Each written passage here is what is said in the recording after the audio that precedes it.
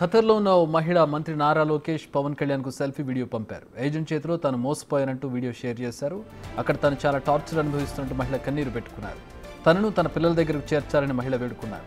స్థానిక మంత్రి Vasan Shetty deputy CM Pawan Kalyan మంత్రి లోకేష్ చొరవ తీసుకుని తనను తన కుటుంబం దగ్గరకు చేర్చాలని కోరారు.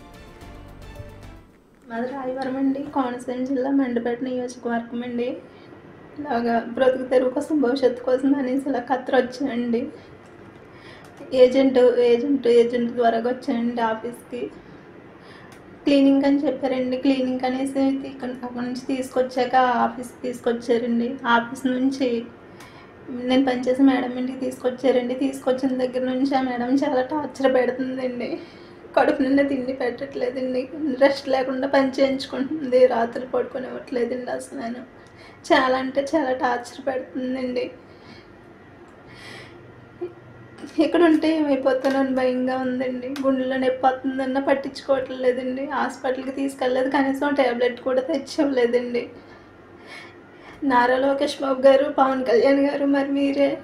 వాసన్ శెట్టి సుభాష్ చంద్రబోస్ గారు మరి మీరే. నాకు ఏదోలాగా సహాయం చేయండి.